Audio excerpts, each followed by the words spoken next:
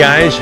Well, you know my philosophy on this old boat has always been first, make it seaworthy. Second, liveaboardable. And third, the looks. Well, I've got it pretty much seaworthy and liveaboardable, but there's always little things that you can do to fix it up. Now I've got a few old through hulls that I don't use anymore. You know, where some of these kind of things are in there where you you have a speedometer or something, I don't know. Anyway, these kind of bother me. So I want to take them out.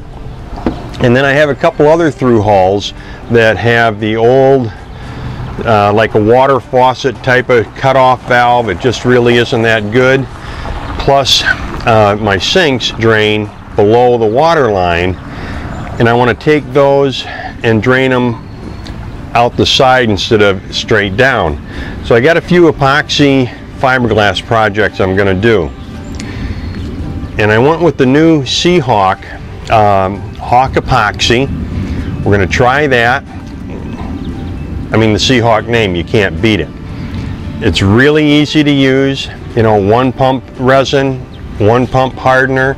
They got a couple different um, fillers that you use depending on what you're going to do and of course uh, the fiberglass matting so let's get to work on that today first thing we need to do is take out all the old through hulls. that's going to take a little bit of time well all right guys I'm getting ready to do this work on filling some old through holes that I took out and you know this is a through hull.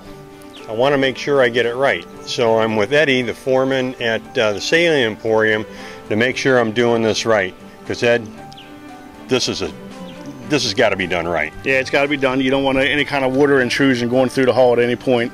Uh, it'll just uh, cause you headaches down the road. Okay, right? so what do, what do I got here? Uh, what you got, your, your through hulls you took out, they were actually flush mounted through hulls, which means the through hulls themselves were, were even with the, uh, the bottom. You know, they weren't mushroom style, they were flush mounted. So uh, because of that, your, your bottom was cut out.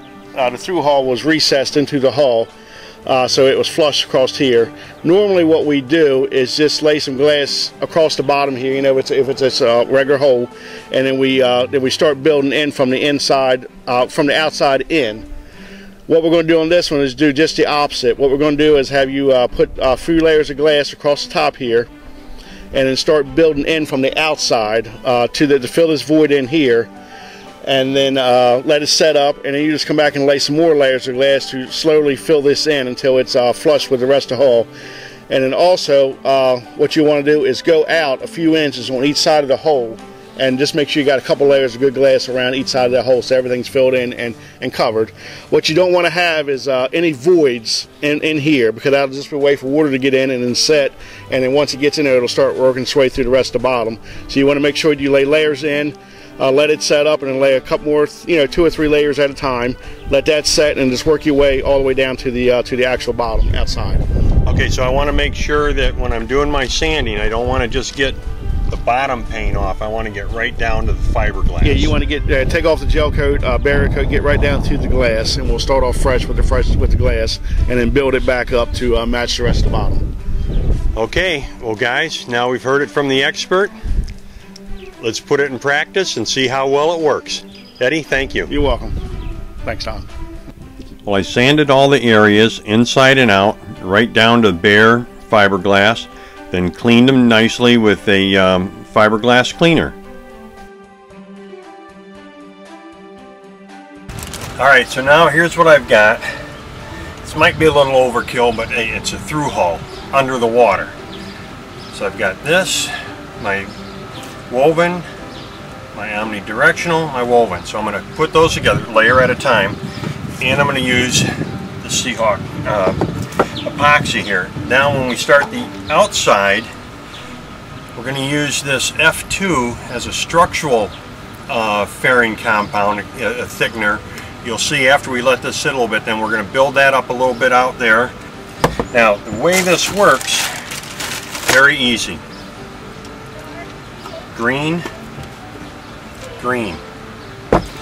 We're to put this in here, one pump of resin. Here we've got the brown, C2,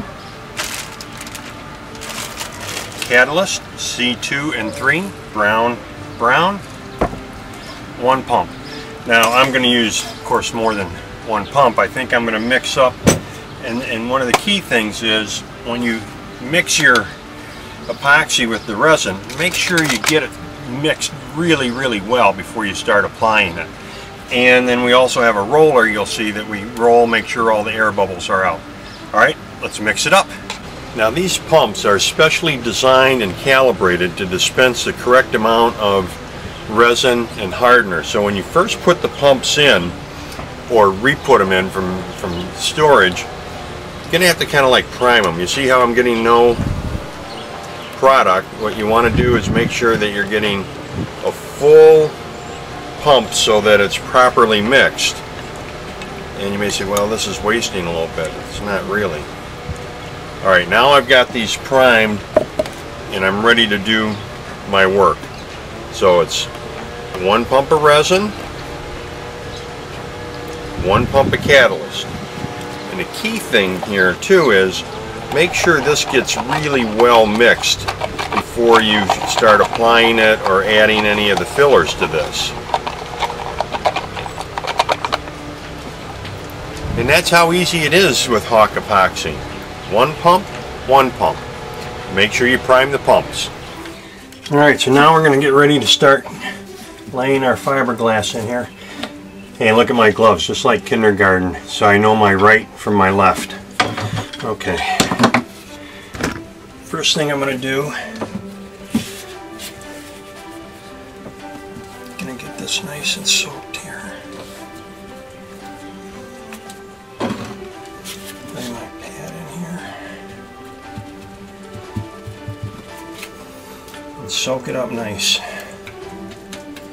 Be bashful. Remember, this is a through hull.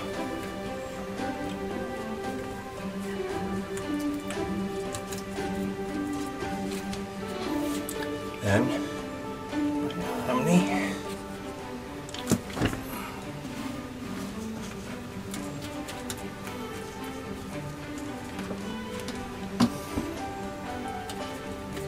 You want to make sure everything gets good and wet with the epoxy.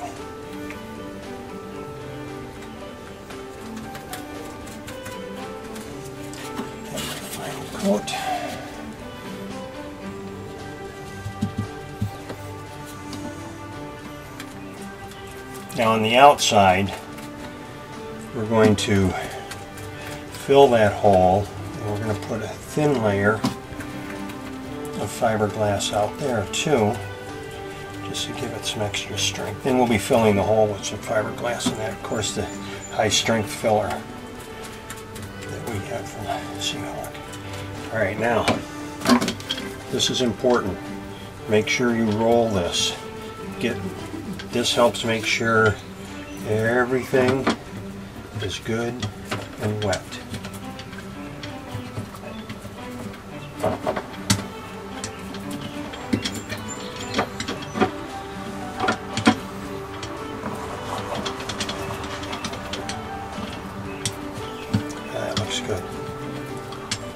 All right, now I'm going to do that on the other holes.